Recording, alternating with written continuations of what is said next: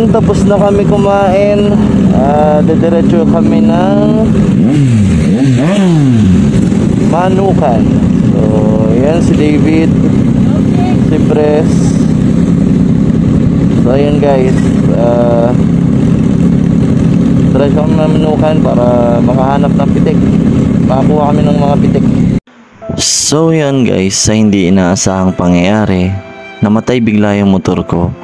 Nawalan siya ng busina, ayaw gumana nung push start button, tapos nawawala-wala na rin yung sa panel niya.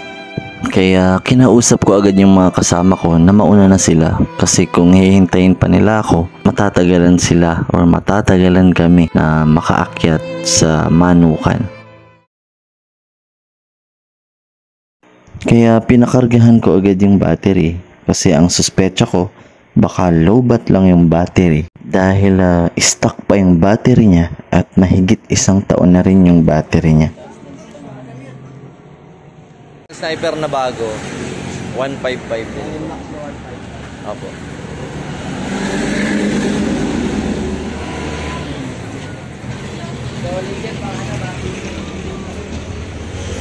Paakit pa nga lang kami ng ano? Bundok, opo, marilaki.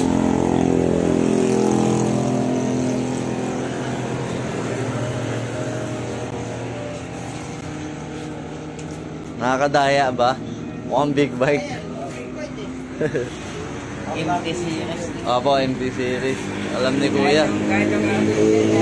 Ah, R15. Para sila ng engine. Rinal, kung ganyan dala ko dun, sasagat ako. Ganyan dala ko dun sa sagot ako. Saan? Saan?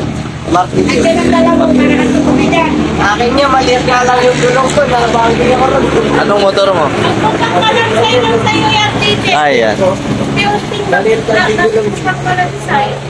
Babanggain talaga ako nung bike na yun kanina. Oo. Tulin niya.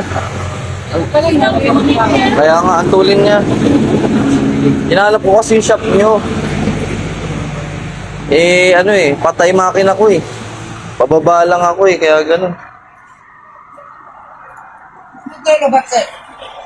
Ha? Naglulubak. Hindi ko nga alam eh. Akala ko, battery ang problema ng motor ko. Na-notice ni kuya na baka may iba pang problema kaya hindi ko makarga yung battery ng motor ko. Kaya pinacheck niya yung regulator. Ayun, nakita nga niya na may sunog na wire doon sa socket papuntang regulator.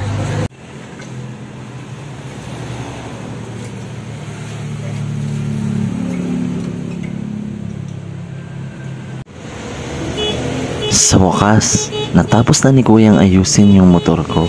30 minutes niya lang ginawa yun. Ang bilis, makakahabol na ako sa mga kasama ko. Goods na?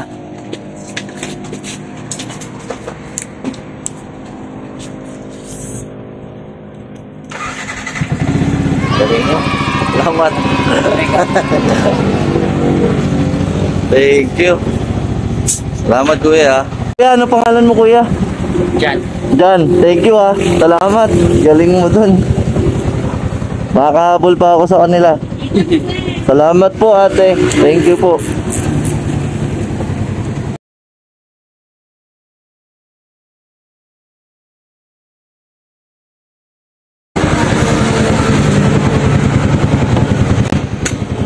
Kuya, thank you po. Kuya, salamat kuya.